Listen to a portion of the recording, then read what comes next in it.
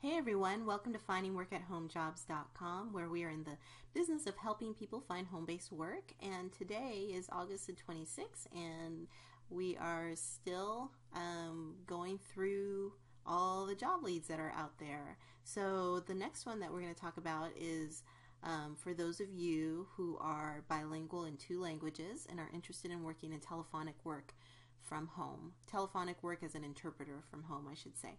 The company is TransPerfect. I will put this link at the very bottom of this email.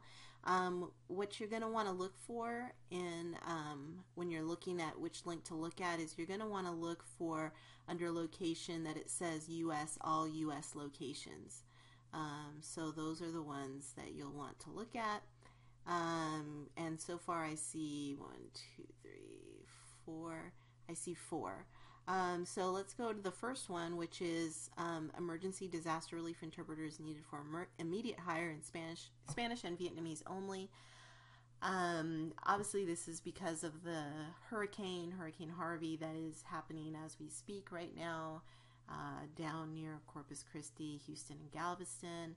Um, uh, sending thoughts of, of, of uh, and prayers to all of those people. We were actually there last week for a cruise. Um, so my heart is heavy thinking about um, Houston and Corpus Christi and all the people down south there in Texas. But um, anyway, uh, yeah, so I can imagine that they need a lot of people right now with, you know, this currently happening. So here is that job lead. Um, now, here's another one right here for those of you who are bilingual in Cantonese and English. Korean and English, and Mandarin and English. So um, just take a, um, I'm sorry, just keep checking out this actual link because they might change the locations based on what the need is. But again, this is for those of you who are bilingual um, in two languages, one of them being English and the other being, you know, something else such as Spanish or Mandarin or Korean. Um, and